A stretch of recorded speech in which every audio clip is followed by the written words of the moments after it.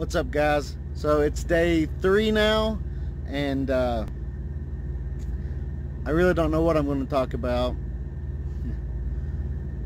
I'm finding this is uh, actually pretty difficult to do to where I just ramble on each day.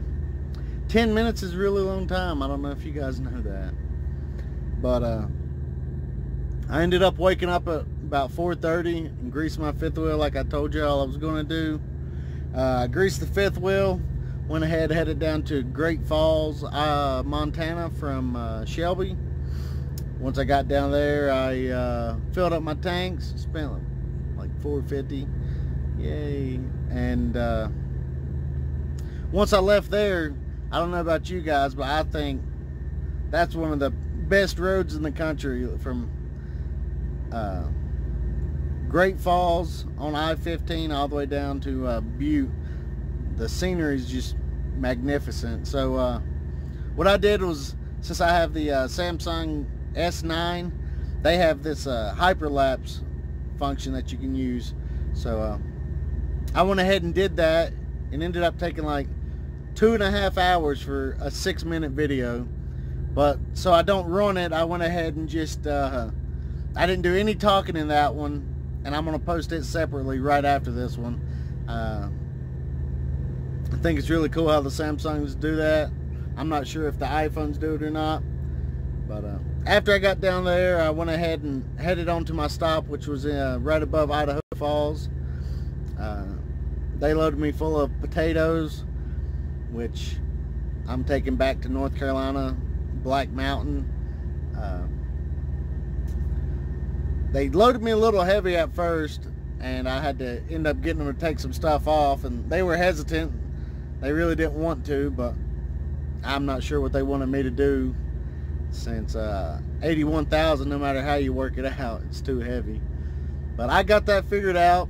I couldn't get the uh, the axles to move so I had to get the hammer out and beat on the uh, the rails a little bit. So uh, that's definitely one tool I would always keep with me. I have a little ball peen hammer and uh, I have to use it sometimes in the winter when the, the brakes freeze up when you're going to, to pick up a, a trailer at the drop yard or something. It'll sit there and they'll freeze up and you got to beat on them to get them to start moving. And then uh, things like that. You just you never know when you're going to need a hammer. So I found that out the hard way uh, two winters ago. So I've had one with me ever since. Uh, after I left there, I did an ag uh, exemption, which is like 150 air miles. Uh, I don't think all companies allow you to do it.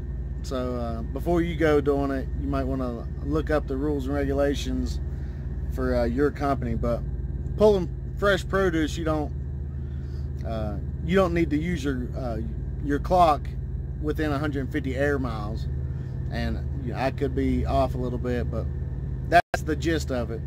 So I made it down here to the ranch hand, which is on uh, on 30, right before you get to the uh, the Wyoming border. And if you drive out here, you've probably drove past this place. It's uh, it's a pretty nice stop. They've got plenty of parking, usually always. And uh, the showers are really clean. I just went and took a shower right when I got parked after I took a shower, I went inside and uh, had some fresh food. I had the uh, the salad bar, which honestly was really good. I figured, you know, the lettuce might be a little old or something like that, but I had the salad bar. It was great. And then I had a piece of grilled chicken with a uh, piece of Swiss cheese on top of it. And that was also really great. It did take them about 40 minutes to get me my food, but since I had the salad bar, I didn't really mind the price wasn't too bad. I think it was $13 and then, you know, you leave the tip. But uh, I highly recommend if y'all haven't stopped, you should stop here and try some of the food. Uh, if you're a drinker, there's a bar inside that's uh, uh open, I think, every night. But uh, I'm not much of a drinker, so I don't really go back there. The restaurant is open 24 hours a day, though, in case you need it. But uh, I went ahead and made it down here and I'm going to start my 34 and wait it out here I guess until Monday morning and start heading home. Um, my first two stops on this trip was in Omaha, or my first two pieces, my first stop was in Omaha, Nebraska. And uh, for some reason, they wouldn't take my uh, two pieces of furniture I had for them. So I've actually got it on this trailer, and uh, I'm going to try to stop by there on my way home to uh, deliver those two pieces. Uh, keep the customer happy, keep us happy, and uh, make a little more money. But other than that, it was a it was a pretty good day. Uh, I don't have very many plans for tonight since it's my 34, so I guess I'll just uh, get on my tablet and talk to my beautiful girlfriend at home, and uh, probably watch some movies on Netflix. Been into uh, binge watching NCIS lately, which is uh, really addicting but yeah, that's about all. That's that's all I've done today, or all I plan on doing too. Uh, it's been six minutes. This is where I started having trouble yesterday. Uh, I did listen to a, another Joe Rogan podcast today. I took it back a few years. I think it was number 460 or something like that. It was a pretty good one. I forgot the exact uh, exact number of the guy's name, but uh, it wasn't bad. And then listen to some music on Pandora. And that was pretty much my whole day. So, what else should we talk about? Hmm. So I guess we can talk about some of the pet peeves I have as a truck driver. So like, I guess one of the biggest ones would be people parking on the fuel island for the 30 minute break. Now I can I can see you know you uh, pulling forward and starting your 30 minute break until the guy gets done fueling behind you. But I see people all the time. They'll get fuel, they'll pull forward, or sometimes they don't even pull forward, there'll be people lined up at every single pump waiting and they're just taking their time. They'll sit there for 30 minutes. I've actually pumped fuel before, pulled forward, went inside and came out while they've still been sitting there taking their break.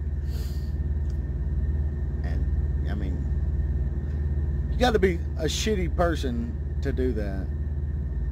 I don't, I don't even know a better way to say it. If y'all don't agree, y'all can tell me, but there's no reason for any person to be that bad of a person to other people. When everybody's trying to get the job done, everybody's trying to do the same thing, why sit there and make someone either late for a, an appointment or, you know, trapped so he can't pull forward, he can't pull out? Not everybody takes 30 minute breaks on the, the fuel island, so just because you are doesn't mean the person behind you has 30 minutes to kill. So that's one of my pet peeves. And then another one is uh, if there's two trucks governed at 65 miles an hour, and let's say the truck behind the first truck is catching him pretty good, but you know, because just because they're governed at 65, one might be pulling a little bit better. That's usually how it always works. If not, then you wouldn't be catching each other. And then the guy gets over in the left lane to pass that the guy going a little bit slower. You know, maybe when he starts, there's nobody there. Nobody behind him. So he's getting over. He's trying to go. Next thing you know, here everybody else comes I can actually go faster than 65. And now these two drivers are holding up both lanes. And I don't know what y'all do, but it's super easy to tap my brake and let my Jake brake slow me down a little bit. If that guy's passing me, then I know automatically that his truck is a little bit faster than mine. So instead of making him battle and stay behind me all day long, why not slow down a little bit, let that guy pass, get in front of you, and then you'll never have to worry about him again because his truck's a little faster than yours. But every day I'll see somebody in the slow lane riding right next to the person that's uh, trying to pass or the person in the slow lane will speed up. But uh, other than that, those are my two main ones, uh, I don't really have any, well, I'm sure I do. I'm sure everybody gets that little bit of road rage or road rage every now and then, but uh, those are like my two biggest pet peeves. Everything else, I just let slide in one ear, out the other, and and keep on about my day. It's uh, my day's too valuable to to waste it on those types of people. All right, so I reached my 10 minutes and uh, 30 seconds. I know I stumbled and fell through this one like crazy.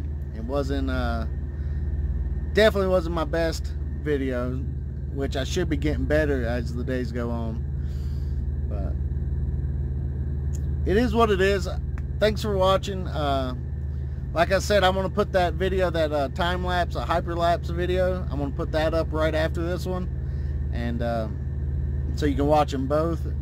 Uh, the video I made yesterday, I'm actually putting it up right now since it took so long to uh, go to YouTube yesterday because it takes a real long time to process and then I send it to private video so I can look at it one more time to make sure all my editing was uh, well, at least decent, which uh, usually it's the music and everything that gives me the most trouble. And then if I, um, I actually almost said my company name, which uh, I don't know if I want to yet or not. So I uh, had to edit that out. So, uh, but yeah, by the time it got processed and uploaded, it was, I was already asleep. So today I uh, finished it all up and I got it posted. So vlog number two is up and vlog number three will be up. Well, if you're watching this, it will be up today.